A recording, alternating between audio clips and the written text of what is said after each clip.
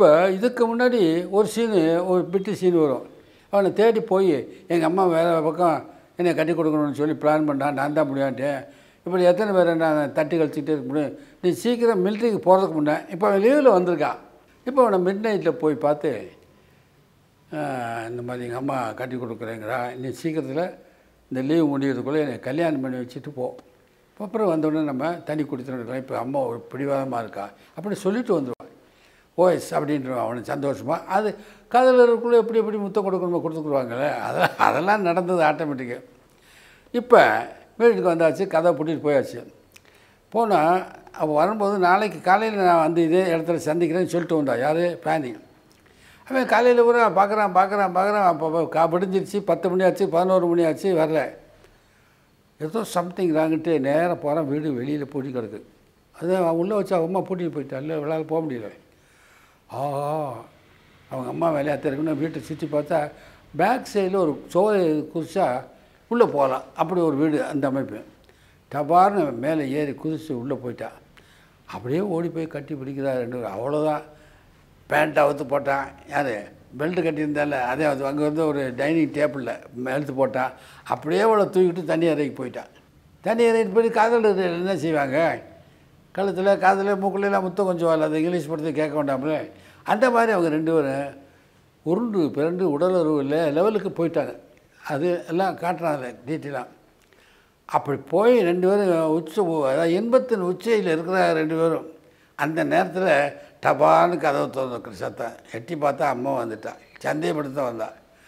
ஐயோ ஐயோ அம்மா வந்துட்டாங்கன்னு ஓடி போய் என்ன பண்ணான் பேண்ட் எடுத்து சொருகிட்டு ஓடுறான் ஓடி அந்த வந்த வழியே சோதனையில் கூச்சா படுவார் ராசுக்கள் நீ திருட்டு தரமாட்டா வந்து போயிட்டேன் பேட்டை மாற்றிட்டு போகிறவன் பெல்ட் இல்லை அதையும் அவுத்து வச்சுட்டு போனேன். அதை விட்டுட்டு போயிட்டான். பார்த்தா பெல்ட் எடுத்துக்கிட்டான். ஏண்டி நான் இவ்வளோ சொல்லி கூட திருட்டுத்தனமாக ஒருத்தனை சந்திக்கிறியே உனக்கு எவ்வளோ திமிரு இருக்கும்படி. அப்புறம் இந்த பெல்ட்டில் அடித்தா பாருங்க. அப்போ அந்த ஒரு சீனே போதும். அம்மா அம்மா அம்மானு கதறுவான். பேனி. கதற கதற அடிப்பான். நான் பெற்றேன் வளர்த்தேன் செஞ்சேன் எல்லாம் பண்ணேன். என் மூஞ்சியில் கரியை வை பூசிட்டேடி. அப்படிப்பட்ட கோடீஸ்வரனை வச்சு நான் என்ன கனவு கண்டேன்? நான் வளர்த்ததுக்கு ஒரே பாக்கியம் அதுதான்டி அப்படிப்படி பா சம்மந்தம் தானே. நீ எவனோ ஒரு புறம்போக்க போய் மிலிட்ரியில் நாளைக்கு வந்தான வீட்டில் சோத்துக்கிட்டே அது இல்லாமல் போயிடும் அவனை கட்டுறேன்னு சொன்னேன். வசனம் என்ன சொல்லணும் அத்தனை பேசி முடித்து ஓன்னு உட்காந்து அழுகிறான் யார்? அவங்க தாயுடைய வயத்தறிச்சு அங்கே காட்டாங்க இப்போ இவங்கிட்டே போய் உடலுறவு பண்ணுறது மாதிரி வீட்டுக்குள்ளே வந்து வரையடின்ட்டு. என்னாச்சோ ஏதாச்சோன்னு அப்படியே அழுது. சரி இதுக்கு மீறி நான் வந்துட்டு பேச தயாராக இல்லை அப்படிங்கிறா. உடனே எமர்ஜென்சி வருது மிலிட்ரியிலேருந்து வந்தவங்க பூரா சிப்பாயெல்லாம் உடனடியாக எமர்ஜென்சினா என்ன இது வீட்டில் அலுவலாக இருந்தாலும் எமர்ஜென்சி வந்துட்டால் உடனே போய்கிட்டே இருக்கணும் மிலிட்ரிக்கு இல்லாட்டி அவங்க செயலில் போட்டுருவானுங்க இராணுவ வீரர்களை. அந்த எமர்ஜென்சி லெட்ரு வந்த உடனே டபார்னு புறப்பட்டு போயிட்டாங்க. யார்? ஹீரோ. ஜோசப்னு அவன் பேர். போயிட்டான் இவன் மறுநாள் அவனை சந்திக்க போய் தேடுறா தேடுறா கிடைக்கல. வீட்டில் வந்து உட்காந்துட்டான் அம்மா இதெல்லாம் ஜாலியாக பார்த்துட்டே இருக்கா. ஒரு டைம் லாஸ் மூணு மாதம் ஆச்சு. வாந்தி எடுக்கிறா. போய் வாந்தி எடுக்கணும். என்ன நீங்கள் எதாவது எதாவது திங்கக்கூடாது தின்னியாண்ணா இல்லை நான் டாக்டர்மா போய் பார்த்தேன். நான் இப்போ கர்ப்பமாக இருக்கேன் மூணு மாதம்னா அவ்வளோதாங்க தூக்கி வாரி போட்டுச்சு. யாருக்கு? அவங்க அம்மாவுக்கு. இப்படி குடும்பத்தை கெடுத்துட்டே கெடுத்துட்டே கெடுத்துட்டேன்னு சொல்லி அழுதுகிட்டே இருக்கிறான் ஒரு சின்ன டைமில் ஆச்சு. இங்கேருந்து போன ராணுவ வீரர்கள்லாம் ஒரு பாறையில் மோதி கப்பல் கவிழ்ந்து அத்தனை பேரும் செத்து போயிட்டாங்கன்னு ஒரு நீச்சு வருது. அது அந்த கப்பலில் எதுவுமே போயிருக்கான் இந்த பா அந்த காலத்தில் இருக்குல்ல ஆயிரத்தி தொள்ளாயிரத்தி வர்றாரு எம்ஜிஆர் அது மாதிரி இதே அந்த காலத்தில். அதை காட்டுறான். ஏண்டி பாவி அவனுக்கு கர்ப்பமானேன்னு சொன்னேன் அதே என்ன தான் இப்போ அந்த குரூப்பில் உள்ள அத்தனை பேரும் செத்து போயிட்டான். இப்போ நீ பிள்ளைய பெற்றுட்டு யார் பிள்ளைன்னு சொல்ல போகிற அப்படின்னு தலையிலே தலையில் நம்ம அடிக்குது அடித்து அழுது. உங்ககிட்ட இருந்து வாழ்றதை விட உன்னை பெற்றதுக்கு நான் தூக்கு போட்டு சாப்பிட்றேன்டின்னு கையில் எடுத்துட்டேன் அந்த பொம்பளை. யார் பிள்ளைன்னு சொல்லுவேன் இருமா எல்லாத்துக்கும் ஒரு நல்ல முடிவு நான் எடுக்கிறேன். அது சரியில்லைன்னா நானும் சேர்ந்து ரெண்டு பேருமே தூக்கு போட்டுக்கலான்னு. டக்குன்னு ஒரு பார்வை பார்த்தா மெ- படுத்திருந்தா மிட் நைட்லேயே எழுந்திரிச்சிட்டா யார்? அந்த ஃபேனு கதவை திறந்தா லோ அமெரிக்காவில் ஒரு வீடியோ காட்டுறான் பா மிட் நைட்டில் பன்னெண்டு மணி ஒரு மணிக்கு. தெருவில் ஒரு ஆள் கூட நடமாட்டமே இல்லை. அப்படி ஒரு தெருவை காட்டுறான் இங்கே அமெரிக்காவில். இவன் பாடு நடந்து போகிறோம் அங்கே அங்கே லைட்டுகள் எரிஞ்சிக்கிட்டே இருக்குது சின்ன ரீதிக்காரி ஓடிக்கிட்டே இருக்குது சோகமாக நடந்தே போகிறா போகிறா போகிறா போகிறா ஒரு இடத்துல போய் நிற்கிறா அங்கே இந்த மாதிரி அவர் பேர் போட்டு டைமண்ட்ஸ் இதுன்னு போட்டிருக்கால அங்கே போய் நின்றுட்டான் வாட்ச்மேன் யாரது? அப்படிங்கிறான். ஆங்கிலத்தில் சொல்கிறான் நான் வந்து மீனவ பொண்ணு ஐயாவுக்கு தெரியும் நான் யாருன்னு. வேணிங்கிற மீனவ பொண்ணு வந்திருக்கான்னு சொல்லு. அவர் உள்ளே அலோவ் பண்ணால் உள்ளே போகிறேன் திரும்பி போயிடுறேன்ப்பா. அவர் தான் வர சொன்னாருன்னு ஒரு போட்டு போட்டா. அப்படியா வர சொன்னாரா? நான் கடை கடைன்னு ஓடுறேன். ஐயா மீனவ பொண்ணு ஃபேனிங்கிற வந்திருக்கா. அப்படியா வர சொல்லு வர சொல்லுன்ட்டார். கடை கடை கடைன்னு வந்தேன். சொன்னேன் அம்மா வாங்க வாங்க வாங்கன்னு கூப்பிட்டு போயிட்டான் கூட்டு போய் முன்னாடி நிற்கிறான். நீ ஏன் இந்நேரத்தில் வரணும்? நீ எப்போ வேணாலும் வரலாமா? இதுக்காக அத்தராத்திரியில் ஏன் வந்த? இல்லையா ஒரு முடிவு எடுக்கணுங்கிறது. என்ன முடிவு அப்படின்னா நீங்கள் என்னை கல்யாணம் பண்ணிக்கிறேன்னு சொன்னீங்களாம்ல எங்கள் அம்மாட்ட? ஆமாம் நான் இப்போ ரெடியா? நீ ரெடியா? ஆமையா? ஒரு மிலிட்ரிக்காரன் லவ் பண்ணேன். அவன் செத்துட்டான். அப்படியா? பரவாயில்லை. அவன் செத்துட்டான். அவனுடைய டைமு இப்போ நான் கல்யாணம் பண்ணிக்கிறேன்மா அப்படின்னா ஆமையா ஆனால் ஒன்று ஒன்று அப்படின்னு என்னன்னு? நீங்கள் அதிர்ச்சி ஆகக்கூடாது. என்னென்னு? நான் இப்போ மூணு மாதம் அவனுக்கு கர்ப்பமாக இருக்கேன்ட்டான். அதை நீங்கள் ஒத்துக்கிறவங்களாங்கிற மாதிரி லுக் கொடுத்தா ஓன்னு வாய விட்டு யார்? அந்த கோடீஸ்வரி. ஐம்பது வயசு உள்ளவே நம்ம சிவாஜி என்ன எப்படி முதல் மரியாதையில் இருந்தாரோ அது மாதிரி ஸ்டேஜ்லேயே உள்ள படத்துலேயே அவன் அப்படித்தான் இருப்பான். வயசு ஐம்பத்தஞ்சு வயசு மே ஓல்டு மேன் அவன் ஓல்டு சிரிச்சிட்டு நான் வந்து எனக்கு வாரிசு வேணும் இவ்வளோ சொத்துக்கும். அதுக்காகத்தான் ஒரு பொண்ணை கட்டுறேன். எனக்கு பெண் பித்தன் அல்ல. எனக்கு ஒரு குழந்தை வேணும் உடனே. அந்த சொத்தெல்லாம் எங்கே போய் சேரும்? கவர்மெண்ட் எடுத்துகிட்டு போயிடுவான். வேறு ஆள் இல்லை. யாருக்காவது ஒரு வேலைக்கு வாழ் கொடுப்போம்னே அன்னைக்கு உன்னை பார்த்தோன்னு கட்டிக்கிறேனே. உனக்கு பிறந்த குழந்தைக்கு இந்த சொத்தெல்லாம் எழுதி வச்சிருவேன். அதுக்கு தான் கேட்டேன். இப்போ ஒன்றும் மோதம் இல்லை. உன் வயிற்றில் ஒரு குழந்தை இருக்குன்னா எனக்கு குழந்தை தான் வேணும். நீ ஒன்றை விடன்ட்டா நான் தாராளமாக அந்த குழந்தை என் குழந்தைய ஏற்றுக்கிறேன் அப்படின்ட்டான். அவளுக்கு பெரிய ஆப்பை அப்படியே கட்டி பிடிச்சி அவரை கையெல்லாம் முத்த கொடுக்குறா. டைம் கிளாஸ் போகுது. அவளுக்கு ஒரு குழந்தை வந்துருச்சு ஆண் குழந்தை.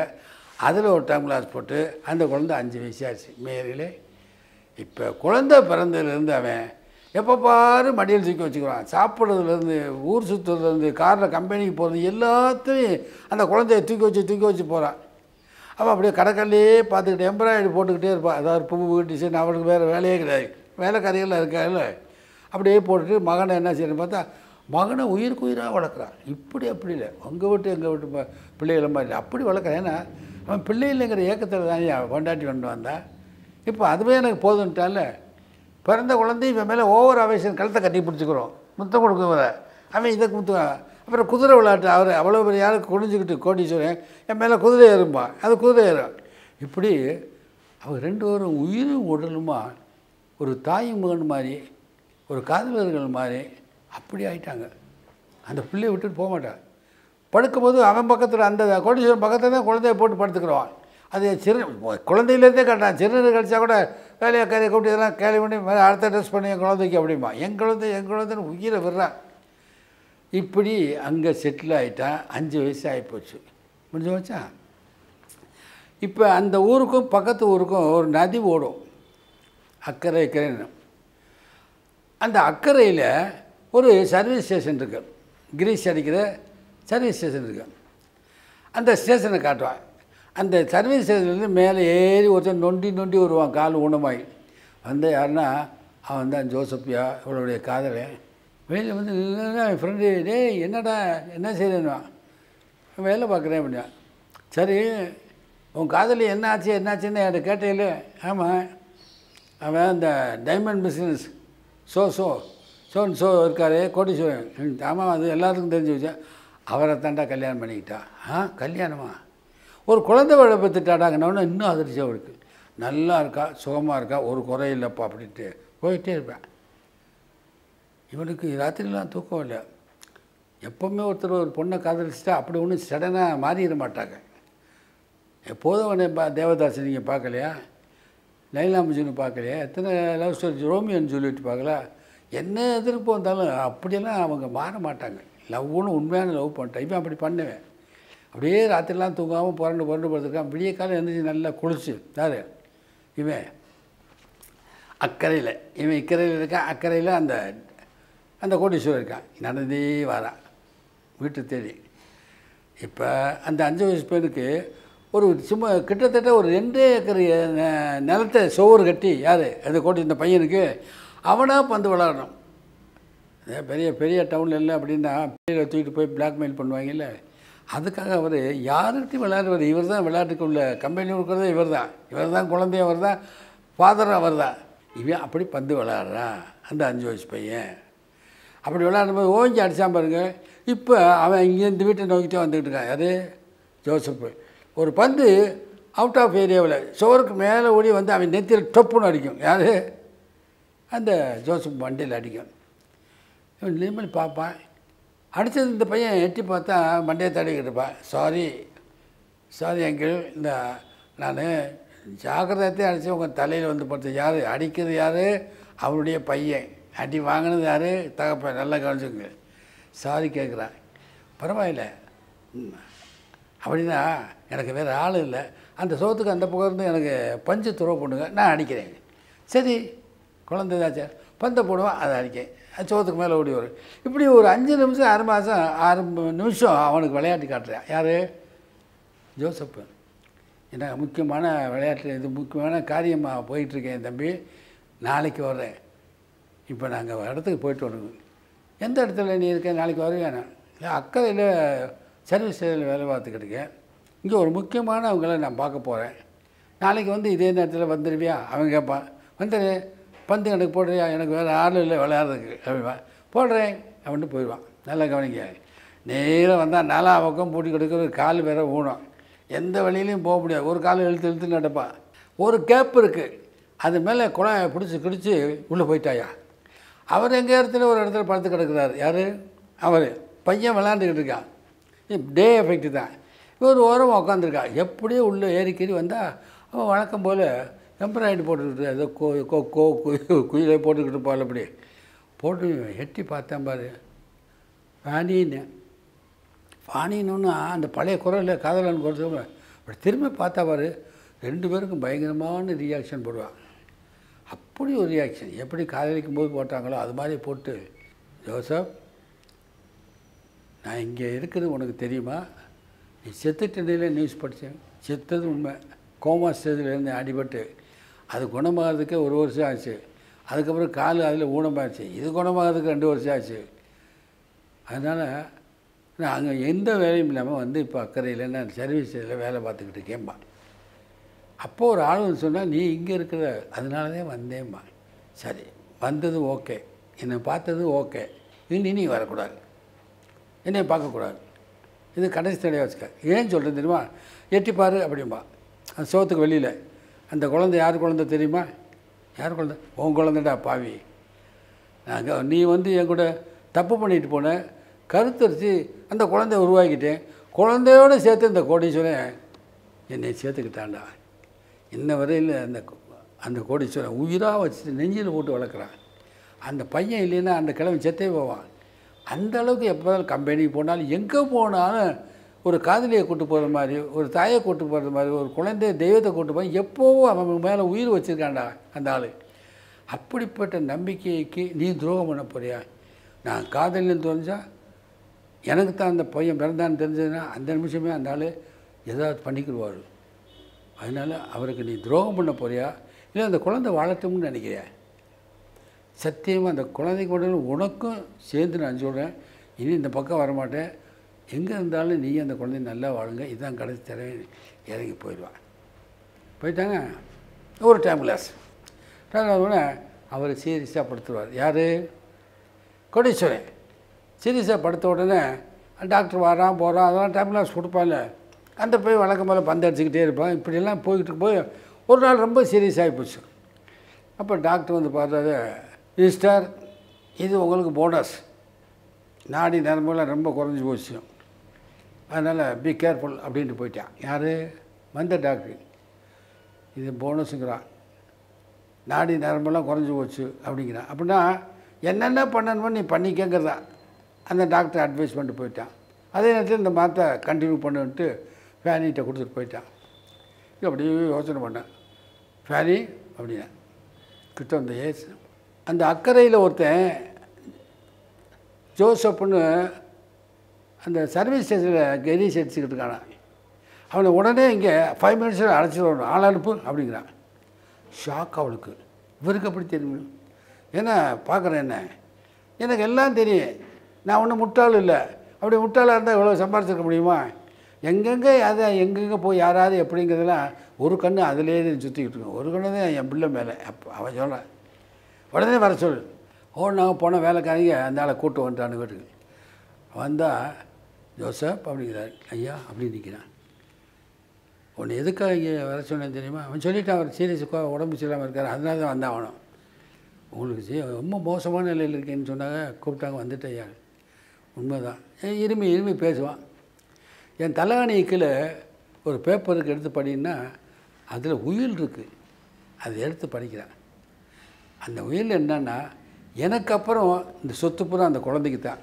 அந்த சொத்தையும் அந்த குழந்தைய கூட இருந்து கார்டியனாக காப்பாற்ற வேண்டியது ஜோசப் என்ற நண்பருக்கு தான். அப்படின்னு கடைசியில் எழுதியிருப்பார். அதை படித்து முடிப்பு வாம்பார் முடித்த உடனே திரும்பி பார்த்தா செத்துட்டாயா? படம் முடிஞ்சு போச்சு. எப்படிப்பட்ட ஸ்டோரி இதைத்தான் நான் அவர்கிட்ட சொன்னேன். அவர்கிட்ட பாக்கியராஜ் சொன்னேன் அண்ணே ரொம்ப நல்லா இருக்கிற கதை. அப்புறம் என்னாச்சு? பாவா அவர் மனைவி பிடிக்கலன்னு திரும்பி அட்வான்ஸ் கொடுத்துட்டீங்களா? ஆமாண்ணே. நல்ல படமாக இருக்கண்ணே. எனக்கு இப்படி போ இப்படி கதையை தான் எனக்கு பிடிக்க முடியும். ஏதோ பெர்மிஷன் வாங்கணுமே தம்பி. இப்படி அவருக்கும் எனக்கு இருந்த ஒரு நல்ல தொடர்பு இந்த கதையால் இருந்துச்சு. அவர் சம்சாரம் ஜொலிச்சிங்க தான் ட்ராப் பண்ணார் எனக்காவது வாழ்நாளையில் அவரை வச்சு ஒரு படம் பண்ணணும்னு ஆசைப்பட்டேன் தம்பி. இப்போ எனக்கு நீங்கள் ஆரம்பிக்கிற கம்மிக்கே டைரக்டராக வர்றாரு. அது ஒரு அதிர்ஷ்டம் தானே எனக்கு. அப்படின்னு ஆமாண்ணே. கதை அவர் கதையிலே இருக்கார். நான் சொன்ன கதையில். வெடிஞ்சது எல்லோரும் பூஜை ஆரம்பம் டைன் டைன் டைன் பண்ணி எல்லாம் அடித்தாச்சு அடித்த உடனே ஐயர் வந்து எல்லாம் பண்ணிவிட்டு அவருக்கு என்னென்ன பண்ணணும் மாலை பண்ணணும் டைரக்டர் வாதம் வந்திருக்காரு. அவருடைய தேவராஜன் பெரிய அவரை பற்றி பின்னாடி சொல்லி தேவராஜன் சொல்லி பெரிய எடிட்டர் எல்லா படங்களும் பண்ணியிருக்காரு. அப்புறம் கேமராமேன் ஒருத்தர் கூட கூப்பிட்டு வந்திருக்காரு. அவர் கண்டினியூ கேமராமேனு எடிட்டர்லாம் ஒரு அசிஸ்டண்ட் மூணு பேர் அவர் கூட வந்திருக்காங்க. இவங்க பேர் என்ன இவங்க பேர் என்ன எல்லாத்தையும் கேட்டீங்க எல்லாம் அந்த அவங்க மூணு பேரும் எனக்கு நல்லா தெரியும். இப்போ மேனேஜர் விட்டு அவங்க பேரெலாம் வாங்கி எல்லாருக்கும் வவுச்சர் போடியான்னு ஒன்றுக்கு ஐயாயிரம் எடிட்டருக்கு ஐயாயிரம் கூட வந்து அசிஸ்டண்ட்டுக்கு மூவாயிரம். போட்டு இந்தாங்க தம்பி வச்சுங்க வச்சுங்க பூஜை முடிஞ்சவனுக்கு ஏய் டைரக்டருக்கு இருபத்தையாயிரம் பண்ணாடுறாரு நான். எடுத்தாச்சு. அடுத்து கொடுத்து இப்போ அதுக்குள்ளே ஒரு ஏரை சேலத்துக்கு விற்றாச்சு ஒரு ஏரியா. பணம் வந்துருச்சு. அந்த இருபத்தையாயிரம் ஒரு கவர் போட்டு சார். இதை நீங்கள் எடுத்துக்கங்க என்ன ஒரு சிரிப்பும் தாங்க முடியல. இப்படி ஒரு நல்ல மனுஷன் நம்ம மேலே இருக்காரு. நம்ம அவர் அன்னைக்கு கதை வேணான்னு சொன்னேன்னே ரெண்டாயிரத்தி ஐநூறு திருப்பி கொடுத்துட்டு கொடுத்துட்டாரு. அவ்வளோ நாணயமான மனுஷனாக இருக்காரு. நம்ம வாங்கியிருக்கக்கூடாதோ அது ரெண்டாயிரத்தி ஐநூறு. அப்புறம் மனத்தாச்சு பேசுது என்ன சார் ஒன்றும் இல்லை ஒன்றும் இல்லைன்னு வாங்கிட்டார். இப்போ பூஜை முடிஞ்சு எல்லாம் பணத்தோடு போயிட்டாங்க நண்பர்களே. போன உடனே இவங்க போன உடனே ஒரு ஆள் ஒரு டிஸ்ட்ரிபியூட்டர் உள்ளே நுழையிறான். எங்கே? அந்த பூஜைக்கு வந்தவன். பாக்கியராஜ் பாக்கியராஜ் வணக்கம்ண்ணே. என்ன ஒரு முக்கியமான விஷயம் தான் என்னென்னா மாதவன் எனக்கு ஒன்றரை லட்ச ரூபா பணம் தரணும். போன படத்தில் பாக்கி வச்சுட்டாரு. இப்போ அவர் புக் பண்ணியிருக்கீங்களே தயவுசெய்து அந்த சம்பளத்தை எனக்கு கொடுத்துருங்க. ஏன்னா நான் கஷ்டப்பட்டுக்கிட்டு இருக்கேன். அவர் படம் அவர்கிட்ட கொடுத்ததுல எனக்கு நஷ்டம் ஆச்சு இப்போ நீங்கள் நல்ல மனுஷன். அவருக்குன்னு ஒரு படம் எடுக்கிறீங்களே அது கலைஞர் இருக்காங்க அதனால் அவர் கொடுக்குற சம்பளத்துலேருந்து எடுத்து அது எனக்கு கொடுத்துருங்கய்யா. அப்படி இவருக்கு அதிர்ச்சி. யாருக்கு பாய்க்கிறாருக்கு ஏன்னா ஒரு ஆளுக்கு உதவி பண்ண போனால் அது இடையில ஒருத்தன் பிடிக்கிறன்னு பார்க்குறானே அப்படின்ட்டு. சரியா கொஞ்சம் கொஞ்சமாக கொடுத்தானே வாங்க மாட்டானே. அதெல்லாம் எனக்கு நான் கடலில் இருக்கேன் வண்டியை அடிக்கிட்டு இருக்கேன் அவருக்கு கொடுத்து போட்டு இப்போ யாருக்கு? மாதவனுக்கு. அவனா. அப்போ கொடுக்க முடியாதுன்னு நீங்கள் யோசிக்கிறீங்களா? அவனா. இவன் எதுக்கே யோசிக்கிறார் கொடுக்க முடியாதுன்னா இந்த படம் ரிலீஸ் ஆகாதுங்க. எங்கள் ஏரியாவில் திருச்சியிலுங்கிறான் இவருக்கு அதுக்கு மேலே இருந்துச்சு சரியா நான் கலந்து பேசிட்டு நான் சொல்கிறேன்னு அவனை அனுப்பிச்சிட்டு நேராக வீட்டுக்கு வந்தார் ட்ரெஸ்ஸாக மாற்றினார் அவர்கிட்ட அனுப்பிச்சாச்சு மாதவன்கிட்ட. மாதவன் வீட்டுக்கு போகிறாரியா போய் சார் ஒரு ரெக்வஸ்ட் என்ன இந்த ப்ரொடக்ஷனை கொஞ்சம் ட்ராப் பண்ணலான்னு நினைக்கிறேன். என்னன்னாரு இந்த உங்களுக்கு கடன் கொடுத்து வந்து என்னை வந்து மண்டை பிடிக்கிறான் பூஜையிலேயே. நாளைக்கு படம் கடை ரிலீஸ் ஆகிற நேரத்தில் இருந்துருந்து நான் கலைஞானத்துக்கு ஒரு படம் ஆரம்பிக்கிறேன். ஏதாவது தகராறு பண்ணி நின்று வச்சுன்னா தப்பாக போயிடும் சார். நான் ஒரு அடுத்த படம் உங்களுக்கு தரேன் சார். இப்போ கலைஞானத்துக்கு இந்த கதை வேண்டாம் வேறு ஒரு கதை ஆரம்பிச்சுக்கிறேன். சாரி சார் வந்துட்டார். எப்படி எப்படி ஒவ்வொருத்தரும் நேரங்கள் பாருங்கள். அப்படியே அப்செட்டாக உட்காரு அதனுடைய கண்டினியூஷன் நேரிலே இதையும் சொல்லிடுறேன் நான் வந்து ராஜரிஷி படம் எடுத்து நஷ்டப்பட்டேன்னு சொன்னேன் அந்த பீரியடில் ஒரு நாள் அவர் வீட்டுக்கு போனேன். யார் வீட்டுக்கு? நம்ம மாதவன் வீட்டுக்கு. அந்த அந்த பீரியட்லேயே தான் கொஞ்சம் தள்ளி போனேன். அந்த பீரியடில் நான் அவர் வீட்டில் சந்திக்க சந்திக்க தான் முடிவு ஏன்னா அதுக்கு முன்னாடி என்ன பாரு அப்பப்போ நாங்கள் ரெண்டு பேரும் சந்திப்போம். எங்கன்னா ஃபிலிம் சேம்பருக்கு வருவார். நானும் ஃபிலிம் சேம்பர் போவேன். ரெண்டு பேரும் அங்கே சந்திச்சுக்கிடுவோம் சந்திச்சுக்கிட்டு அவர் கார் இல்லாமல் தைப்பார் நான் என் காரில் ஓட்டிகிட்டு போய் அவர் வீட்டில் விட்டு அபிராமபுரம் ஆழ்வார்பேட்டையில் இருந்தார். விட்டுட்டு வரும் இது அடிக்கடி எங்களுக்குள்ளே நடந்தது. இப்போ நான் ரொம்ப சிரமத்தில் இருக்கும்போது அவர்கிட்ட இருபத்தையாயிரம் கொடுத்துட்டு நம்ம வாங்கலையில திருப்பி கேட்கலையில அது அண்ணாகிரம் விட்டுட்டோம்ல. இப்போ நமக்கு தலைக்கு மேலே வெல்லும் போதே அது அந்த அதுக்கப்புறம் கொஞ்சம் லேட் ஆகி போச்சு. எனக்கு படம் எடுக்கிறதுக்கு. போய் சார் இந்த மாதிரி ஒரு பத்தாயிரம் கொடுத்தாருன்னா இந்த அடிக்கடி கடன் கட்டிக்கிட்டு வீட்டுக்கு தொல்லை கொடுக்குற அவமானப்பத்தின நான் கேட்டு பார்ப்போம். இருந்தால் வாங்குவோம் அப்படின்ட்டு நேரம் நான் கார் எடுத்துக்கிட்டு போனேன் போனால் மாடியில் இருக்கார். வாங்க கலைஞானம் வாங்க கலைஞானம் பாரு. அவர் அதை கை கைங்கன்னு சின்ன சின்ன சின்ன வயசு தான் உட்காந்தேன் சார் என்னை தப்பாக நினைக்காதீங்க. ஏதோ இருபத்தையாயிரரூவா கொடுத்து விட்டு அதை கேட்க வந்துட்டான்னு நின்று நினைக்காதீங்க. உங்களுக்கு எத்தனை கோடி வேணா இருந்தில்ல உங்கள்கிட்ட இருக்க கலையம் சொத்துக்கும் இதுக்கும். எனக்கு ஒரு இந்த கடன் பட்டதுனால ஒரு பத்தாயிரம் ரூபாய் கடன் தொட தொட தொட தொடன்னு விடிஞ்சிருந்துச்சா வீட்டில் இருந்து உட்காந்துருக்கான் சார். நான் வேறு எங்கேயும் என்னால் பட்டேன் பெரிய கடையில் இருந்தேன்னு உங்களுக்கு தெரியும். அவன் இன்னும் வந்துக்கிட்டு இருக்கான் நீங்கள் ஒரு பத்தாயிரரூபா முடிஞ்சால் கொடுப்பீங்களான்னு ஒரு அழுகு மா அழுகிறது மாதிரி ஒரு சிரிப்பு சிரிச்சிட்டு தலையை கொஞ்சிட்டு கலைஞானா பத்தாயிரம் இல்லை பத்து கோடி கூட உங்களுக்கு தரணும். உங்களுடைய பெருந்தன்மைக்கு உங்களுக்கு இப்போ என்னை ரொம்ப சிரமத்தில் இருக்கேன். அதை விட முக்கியம் என்னென்னா அப்படின்னு சொல்கிறாரு உள்ளேருந்து ஒரு பதினெட்டு வயசில் ஒரு பொண்ணு வருது. அவருடைய மனைவியும் வர்றாங்க. என்ன எங்கள் என்னையுமே பேசிக்கிட்டு இருக்க முடியும் வந்து இப்படின்னாங்க அது நிற்கிது அது அந்த பொண்ணு என் மகன். பதினெட்டு வயசு ஆச்சு கல்யாணம் பண்ணி வச்சிடலான்னு எவ்வளோ ட்ரை பண்ணுறேன் பணம் விரட்ட முடியல. கல்யாணம் அப்படின்னாரு நல்லா கவனிங்க நேர்களே பதினெட்டு வயசு பொண்ணு வீட்டில் இருக்குது பையன் ஒருத்தர் இருந்தான். அவனை வச்சு கூட ஏதோ படம் எடுத்ததாக கேள்விப்பட்டேன். இப்போ இது காலகாலத்தில் எங்கேயாவது கடனோட வாங்கி வயசு பொண்ணு வீட்டில் வச்சக்கூடாது கல்யாணத்தை பண்ணிடலான்னு அதையே பரட்ட முடியல கலைஞன் எத்தனை லட்சங்களை பார்த்தேன் எவ்வளோ பணங்களை பார்த்தேன். வீட்டை நடத்துறதும் சிரமமாக இருக்குது அந்த பொண்ணை எப்படியாவது கல்யாணம் பண்ணி கொடுத்துடலாங்கிறது ஒரு தர்ம சங்கடம் வந்துக்கிட்டே இருக்குது கலைஞர்னு அழுகாத சொல்லி அவர் சொன்னார். சார் தயவுசெய்து நீங்கள் அப்படியே நிறுத்திக்கோங்க. நீங்கள் நல்ல காரியமெல்லாம் முடிச்சுட்டு உங்களுக்கு பணம் இருந்தால் கொடுங்க இல்லாட்டி வேணாம் சார். என் குடும்பம் வேறு உங்கள் குடும்பம் வேறு இல்லை. நீங்கள் சொன்ன பிறகு தான் இவ்வளோ சிரமத்தில் இருக்கீங்க அப்படின்னு தெரியுது. நான் வரேன் சார் இறங்கி வந்துட்டேன். என் குடமே சொல்லி அவர்கிட்ட மனசு ஒரு பத்து ரூபா கொடுத்தாருன்னா என்னை தொலை கொடுத்துக்கிட்டு இருக்கேன். வெடிஞ்சா கடைக்காரன் வந்து அந்த பழைய கடன் நான் தெரியல அப்படின்ட்டு பாதி தானே தம்பி அடைச்சார். நான் பாதி இருக்குது அதனால தான் அவர்கிட்ட போராடி போயிருக்க மாட்டேன். இப்போ அவருடைய கஷ்டங்களை சொன்னோன்னு எப்பேற்பட்ட நம்மளை ஆஃப்டர் ஆளுங்க. எத்தனை படம் கிட்ட அடையப்பா மறுபடியும் சொல்கிறேன் பட்டிக்காடா பட்டணமா எங்கள் ஊர் ராசா அவரே தயாரிப்பு அவரே டைரக்ஷன் என்ன வீட்டு படம்? அதில் கோடிக்கணக்கில் சம்பாதிச்சுக்கலாம்ல இவருக்கு வியாபாரம் பண்ண தெரியாதுன்னு நினைக்கிறேன். நானும் அப்படித்தான். ஏன் பாக்கியராஜுக்கும் வியாபாரம் பண்ண தெரியாது? அப்போ அப்படி ஏற்பட்ட ஒரு குரூப்பு தான் ஒன்று சேரும். அப்படி தான் நாங்கள் சேர்ந்துருக்கோம். அதுக்கப்புறம் தங்கப்பதக்கம் என்ன கிட்டு? ஞானமொழி வேட்னாமொழி அடே அப்பா அப்படி தொடர் வெற்றி கொடுத்தவர் இப்படி ஒரு நிலைக்கு வருவார்னு யார்? என்ன டைரக்டர் சிறந்த டைரக்டர் எவனா சான்ஸ் கொடுத்துக்கிட்டே இருக்கணும்ல கொடுக்கல. அதான் நேரம்ங்கிறது. அப்படின்னு நினச்சிக்கிட்டே அப்படியே கார் ஓட்டிக்கிட்டே வரேன் என் பொண்ணுக்கு வரன் வந்திருக்கு. பணம் கொஞ்சம் புரட்ட முடியல கலைஞரம். என்கிட்ட காதோரமாக சொல்கிறாரு ஏதோ மெதுவாக பிள்ளைகள் பிள்ளைக்கு தெரியக்கூடாது அது ஓரமாக நிற்குதுங்க நடக்கலை கல்யாணம் அப்படிங்கிறாரு. அதை நினச்சிக்கிட்டே வரேன் என் வீட்டில் அதே வயசில் ஒரு பொண்ணு இருக்குது கடைசி பொண்ணு. என்னாலே அதை கல்யாணம் பண்ணி கொடுக்காம நான் தகராறு பண்ணிகிட்டு இருக்கேன் இப்போ நம்ம வீட்டு பொண்ணு வேறு அவர் ஒன்று வேறையா? எல்லாம் ஒன்று தானே நம்ம ராத்திரி போல் என் பொண்ணு கடைசி பொண்ணு கல்யாணம் பண்ணி கொடுக்கல ரொம்ப சிரமப்பட்டேன். எப்படியோ போட்டுக்கிட்டு முடிச்சிட்டேன்னு வைங்களே அதுக்கப்புறம் தான். அது மாதிரி தானே அவருக்கும் இருக்கும் இந்த வேதனை. ஏ நம்ம கேட்டு போனது தப்புன்னு அப்படியே முடிச்சுட்டு வீடு போய் சேர்ந்து நேயர்களே இப்படி எங்கே போனாலும் என் கஷ்டத்தை சொல்கிறதுக்கு முன்னாடி அவங்க கஷ்டத்தை சொன்னால் மெல்ட் ஆயிடுவேன்